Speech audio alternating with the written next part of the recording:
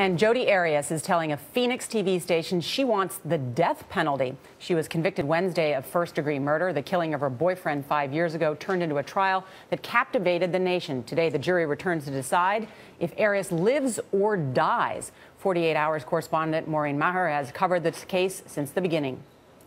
We, the jury, duly impaneled and sworn, in the above entitled action, upon our oaths, do find the defendant as to count one, first degree murder, guilty. There were tears of joy and grief inside the courtroom as the verdict came down.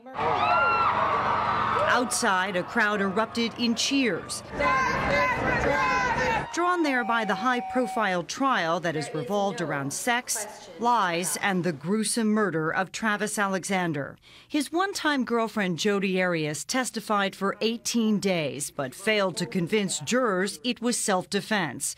Legal experts say her ever changing version of events proved insurmountable the jury couldn't reconcile these different stories because they could not have been more different. So the challenge for this jury was where do they find the truth in Jodi Arias' story? And they simply could not do that. In police interviews played at trial, Arias is heard claiming her innocence. I didn't kill him. I didn't take his life. Jurors then heard Arias tell 48 Hours two masked intruders had attacked her and Alexander. Later, she admitted that she had shot him in the face and stabbed him more than two dozen times. Would you agree that you're the person who actually slit Mr. Alexander's throat from ear to ear. Yes.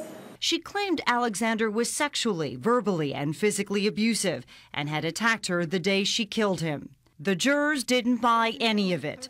Friends of the victim say we may never know the full story. And we'll never get the truth out of her, I don't think, because she'll distort it anyways. I mean, only Travis will know the, the full truth. The jury is now set to determine whether Arias will get the death penalty. In a new interview, Arias said she'd prefer death. I said years ago that I'd rather get death than life, and that still is true today.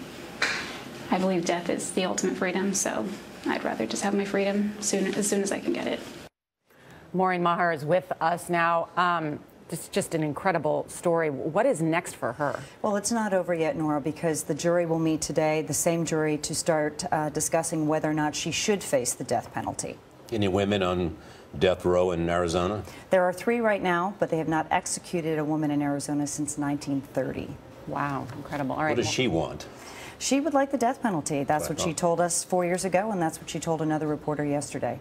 Mm-hmm. Maureen Maher, thank you very much.